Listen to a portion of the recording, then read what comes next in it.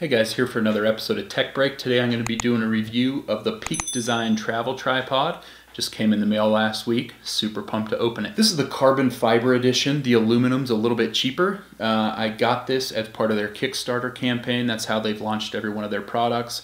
I've been following Peak Design for a long time, have a lot of their products, their camera straps, some of their bags, uh, their camera clip. Um, and so I figured if they came out with a, a, better way to do a tripod, I'm in. Before you purists get all over me, um, the main reason I got this is because despite my MeFoto carbon tripod um, being pretty small and lightweight, it was still a little bit too big and a little bit too tedious to set up. I'll soon have three children, and a lot of my use of the tripod is when we're out traveling.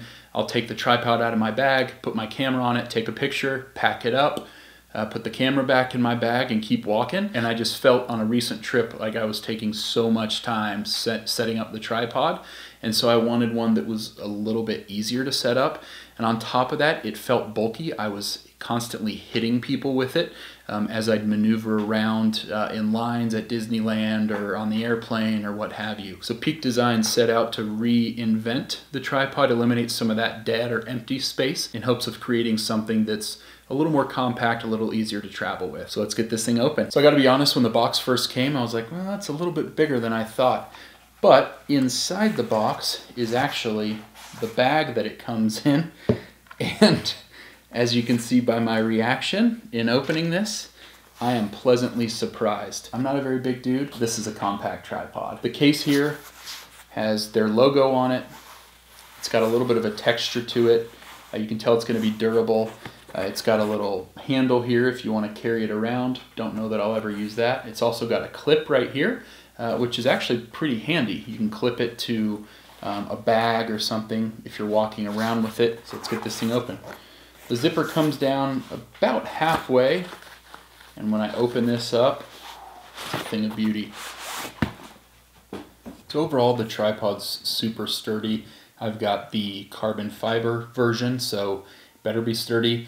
The aluminum version's about a hundred, little over a hundred dollars cheaper. I'll put the current prices uh, down below in the description. I can almost, and I don't have very big hands, I can almost wrap my fingers completely around the entire thing, which speaks to how much they've done away with the dead space that you typically see in tripods. So typically you've got a bunch of cylinders kind of stacked together, uh, maybe some foam padding, which I never understood on one of them.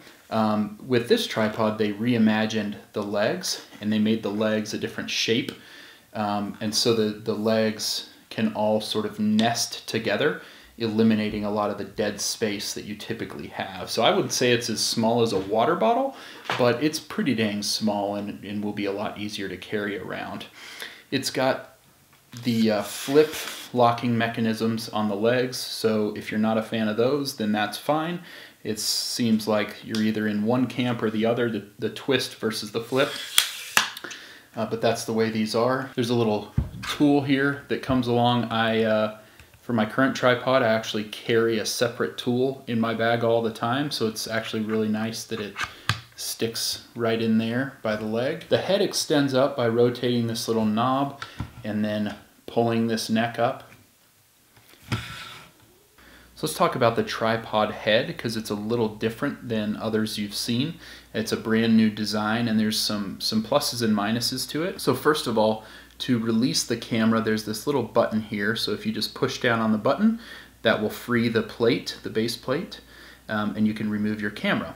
Now I've got it locked at this time, which is also a nice little feature. But if I just turn this little guy around, then I'll be able to press this down and take the base plate off. It's a nice little feature to keep your camera rather safe um, and then you can just snap it right back on there. There's a pin, you can see this one right here. There's one on either side to keep the plate from sliding off of the side of the camera. There's also a level here on top to so that you know when you're level.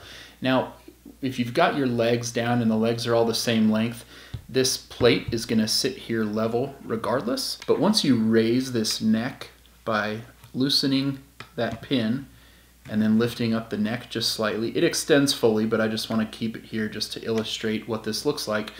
You'll see that the head can slide around on this ball. So you can get whatever angle you want without having to mess with the different axes, which is really, really nice. You don't have to remember which one is which. It'll go fully to the side as well. If I put this up just a little bit higher and see it'll come down all the way.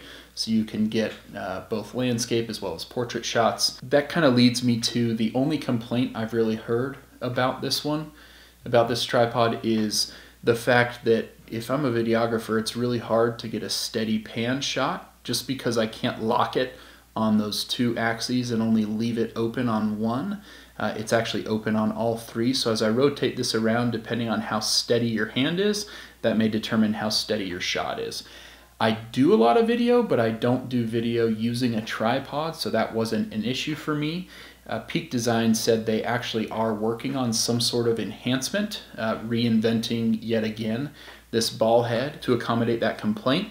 Um, but they needed to get it out to market and have spent years and years developing this this tripod up until now, and so they weren't too worried about it yet. Overall, I couldn't be happier. I think it's going to be a great addition to my photography kit.